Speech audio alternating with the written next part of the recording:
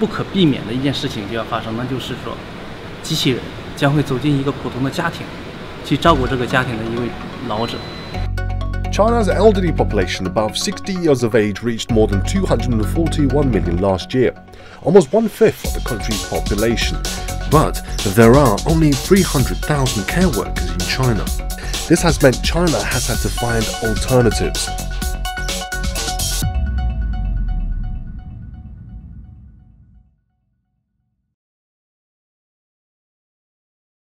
Today I'm here in Shenyang City to meet one of China's, well, I think, the biggest robot manufacturer, Siasun. Let's go find out more. Thank you for having us. Welcome to Siasun. Thank you, This is thank my you. colleague, Big White.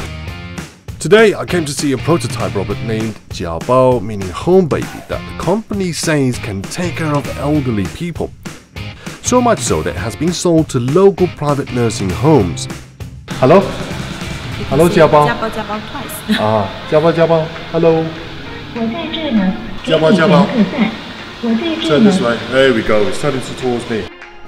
And you can call her over within a 5 meter range, which I think at home is quite convenient. 想到我们去哪儿啊？不知道，不知道，不知道呀。 She doesn't know. 问我 She also pointed out that Jiabao can help you get in touch with your family or essential services like hospitals in case of an emergency. There you go, okay. So almost like a FaceTime or it's, yeah. it's a WeChat, isn't it? With a video call. Yeah. So can she see us? Can she see? Let me give her a wave. Hi. Hello. Hello.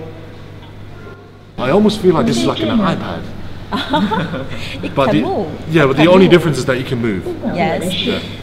So it's very useful. And would I buy one? I'll, I would probably think the answer would be yes. I would buy one for the price.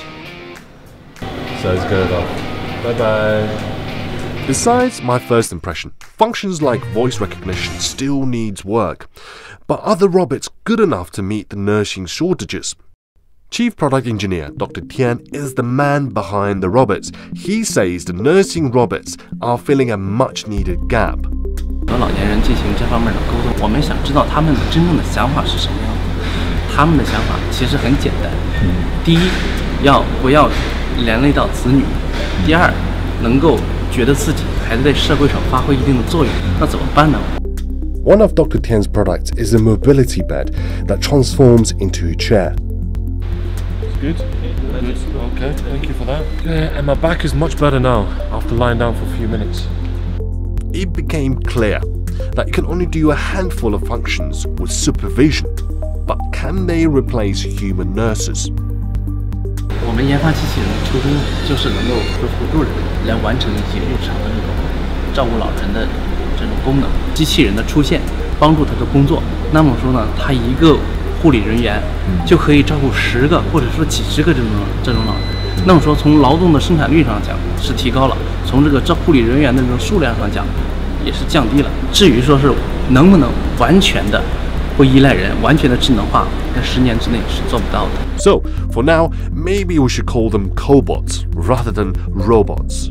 你比如说用在日常生活中的机器人，它其实能做的功能性的工作，甚至不如一个六岁的小孩儿所做所能完成的东西。I think a relationship can be defined by a help me, help you mantra. But how smart can they be in the future? What is the future for robots? for robots like uh, Jia Bao?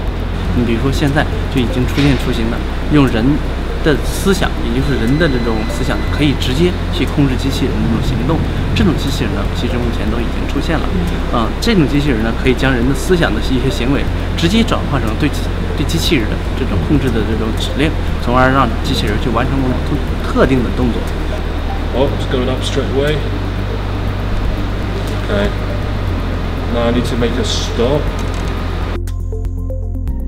随着应用技术的发展，它的这种功能性在得到不断的提高，它的思想也会不断的这个进化啊，思想上更加这个聪明。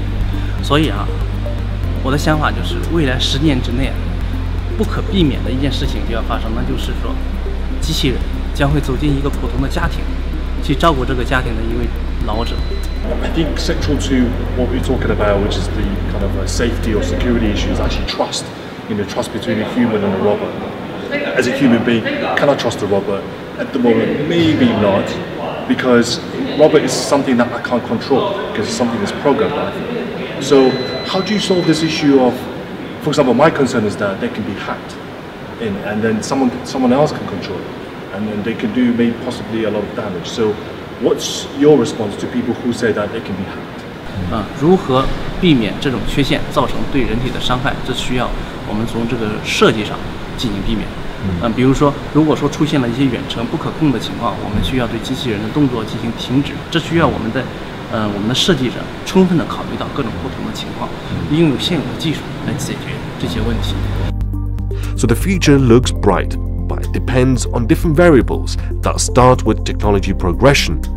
I'm Josh, stay tuned when China Matters.